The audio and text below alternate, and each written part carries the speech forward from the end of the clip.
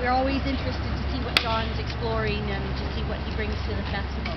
Um, there are program guides. If you don't have one, I do have a couple with me. Anybody, and Lise also has some. She's Oh, over. you've got some? I have a couple, but you've got more. Yeah, I got lots. Got lots, a trunk full. And we do ask for um, an admission. If you're um, outside of the neighborhood, we ask for $10. If you're from the neighborhood, we say pay what you can. So um, I've, I've already, um, folks have already given me a lot here, so if you're new to the group, I'll welcome. Uh, oh, you're from the, Yeah. all right, thank you. Thanks for contributing. Thank you. Great, all right. Thank you. Thank you, sir. From the neighborhood? Yes, you're from the neighborhood. Pay what you can. No, I don't say half, but yeah, but five hundred. Yeah, I, I used to try and come to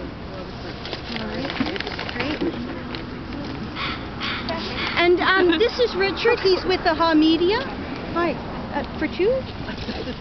So AHA Media is a social media blog, and Richard kind of covers the festival, so he'll be joining the walk. So if you don't want to be in any photographs, steer clear of Richard.